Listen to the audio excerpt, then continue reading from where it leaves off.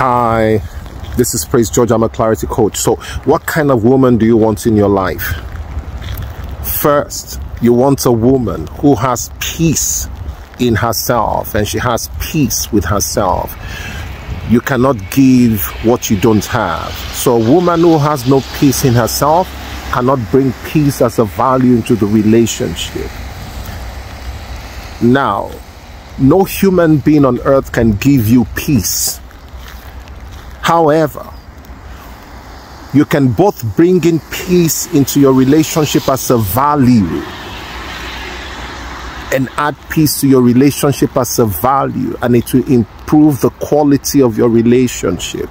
So what kind of a woman do you want? You want a woman who has peace in herself and with herself and she brings in that peace as a value to your relationship. You want a woman who respects you not a woman who disrespects you. She respects you because she sees the value in which you bring to which you bring to her life.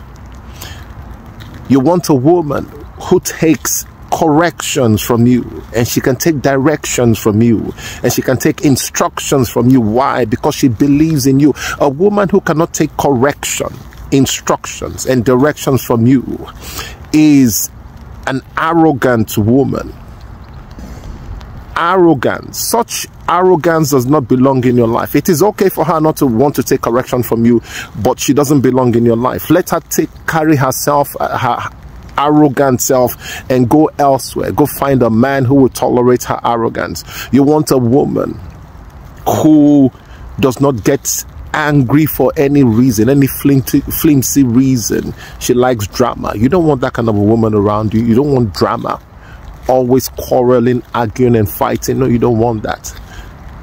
You don't want a woman who has anger issues. You want a woman who is intelligent, a brilliant woman. You want a woman who thinks for herself, a woman, you want a woman who has a clear vision and direction for her life. You want a woman who is financially stable, not a financial vampire and parasite who thinks that it is your divine duty to rescue her from poverty. No. You were not called to rescue any woman from poverty. So a woman who is a financial vampire and parasite does not belong in your life. You want a woman who is financially stable and make sure that you don't depend on her for money.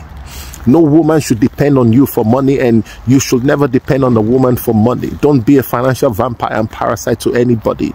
So, you want a woman who brings value to the table, not just a pretty face and a, and a pretty body. No, you want a woman who brings real value. And what is value?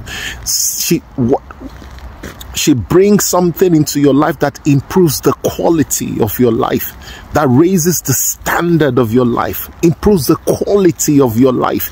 That is what I mean by value. That's the kind of woman you want. Not just a pretty face and a nice body and a nice smile. No, those things are nice, but they don't last. You want a woman who is emotionally stable, spiritually spiritually healthy and and and, and mentally healthy and, and brings value to your life, improves the quality of your life. You'll be fine. You'll be fine.